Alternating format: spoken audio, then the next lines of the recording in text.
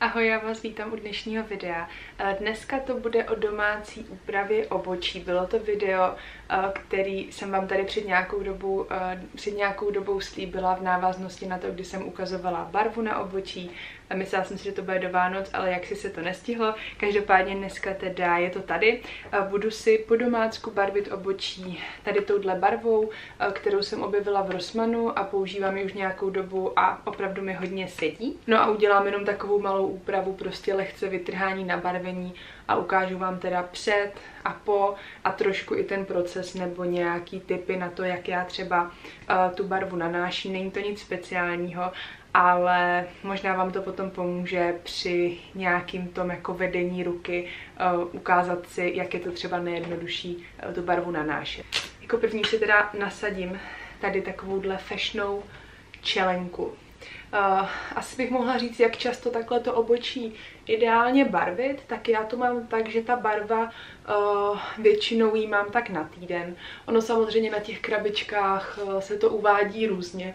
Uvádí se tam taky to, že to máte nechat třeba působit dvě minuty, tři minuty, pět minut, tak to taky jako záleží na ty intenzitě, ale když to necháte působit 15, tak prostě nebudete mít černý černý obočí, prostě ono už to potom po nějaký době jako zase tak moc nepůsobí.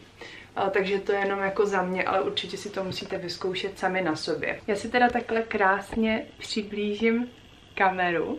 Tak a budeme se teda bavit tady o tomhle obočí. Já ho teda mám nalíčený, takže jako prvního uh, takhle odlíčím. Určitě před nějakým barvením je dobrý, aby to obočí nebylo mastný. A teď jsem si ho teda nebarvila delší dobu, jo, není to určitě tady tohle po týdnu. Je to podle mě jako minimálně měsíc nebarvený. Tak, tady vidíte, jak teda vypadá. Budu tam potom i něco trhat, ale jako není to uh, nic uh, šíleného. Co jsem si připravila, tak je tady tahle malá mistička a potom teda uh, obsah toho balení. Je tady takhle tuba s tou barvou, samozřejmě si přečtěte návod, já už to dělám jako podle paměti, ale uh, zhruba centimetr z té tuby dám do mističky a přidám pár kapek další lahvičky. Já vám ukážu, kolik tam toho zhruba je.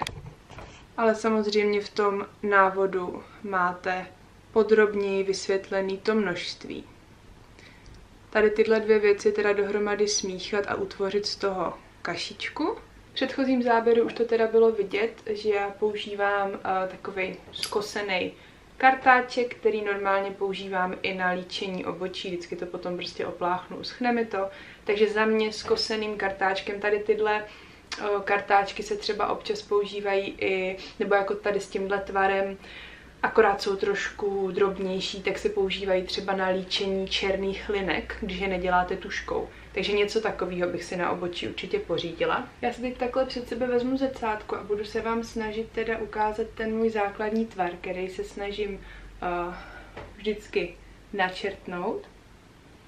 A vlastně postupuju úplně stejně, jako když si obočí líčím stínem. Takže začínám tady takhle linkou, potom takhle to vepředu lehce vytáhnu směrem nahoru. Ono je důležité, že ta barva samozřejmě nabarví teda převážně nebo hlavně ty chloupky, ale zároveň se udrží i na té pokožce několik dnů, takže rozhodně jako eh, nechcete si to tam úplně nějak šíleně vykreslit, abyste tam potom prostě měli centropenem čáru.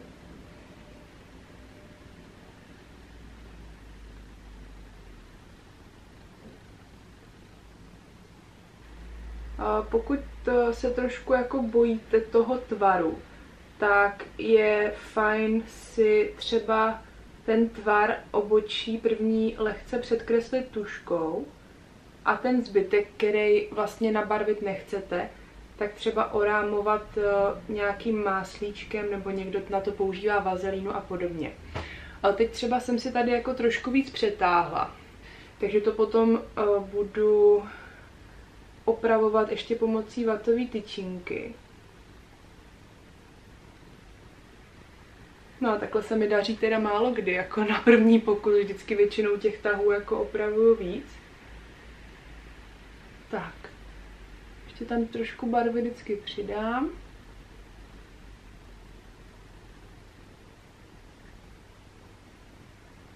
Jak se tam v odrazu, no tak to je úplně geniální, v odrazu ta dětská motorka. Za mnou kitky, přede mnou dětská motorka. To mě prozradilo. Tak, takhle by byl za mě tvar toho pravého obočí. Jdu udělat druhý.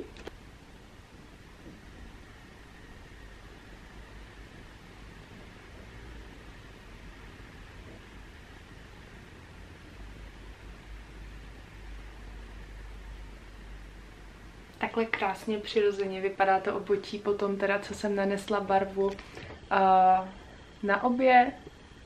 Myslím si, že jsem se s tvarem spokojená, ale chce jsem to teda upravovat tou vatovou tyčinkou a teď si myslím, že to nechám uh, působit určitě takových jako minimálně pět minut, ale říkám, jako to si vyzkoušejte klidně třeba na ruce, uh, ale nemusíte se toho bát, určitě to není tak, že jako hned po dvou minutách se to musí setřít. Uh, co já jsem teda chtěla ještě vypíchnout, tak tady tahle barva uh, mě jako jedna z mála se Eh, líbí kvůli tomu, že opravdu jako drží potom několik dnů a hlavně, že drží hezky. Že vám to prostě neudělá jako výrazný obočí, úplně prostě orámovaný a za pár dnů to zmizí, ale že to máte fakt jako eh, krásný, jemný efekt, ale který vám vydrží. Takže tady tohle za mě jako jedna z mála barev, která tohle splňovala. Tak já jsem si tady teď připravila takhle uh, vlhčený vatový tamponek na setření té barvy. Tak a jdeme teda, první setřu to pravý, který jsme dělali jako první.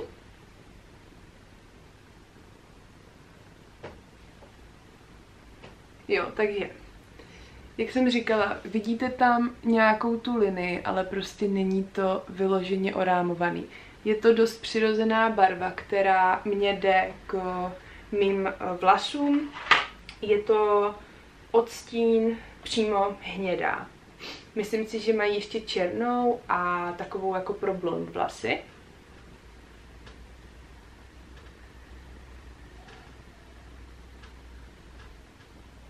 Tak, hotovo. Takhle jednoduchý to je. Já teda, když se potom líčím, tak si ještě pomocí stínu lehce dodělávám tady tu přední část toho obočí, ale pokud vy byste chtěli nechat úplně takhle přirozený look, tak doporučuji uh, po tom barvení používat prostě jenom nějakou uh, hnědou řasenku nebo řasenku na obočí nebo gel na obočí, uh, protože tím si dokážete vy ty chloupky krásně vyčesat nahoru a zároveň to ještě uh, zvýrazní tvar toho obočí. Já vám takhle ukážu na tom jednom obočí, jak to uh, můžete nanést, jak to zhruba vypadá.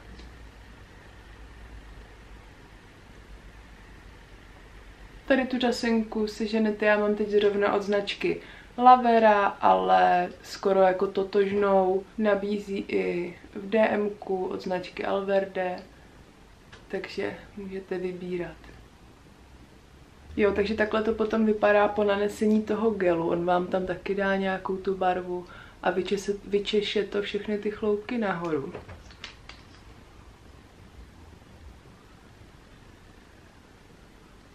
No a já teda teď jediný, co ještě upravím, tak bude, že tady takhle lehce vyčistím to okolí toho obočí a bude hotovo.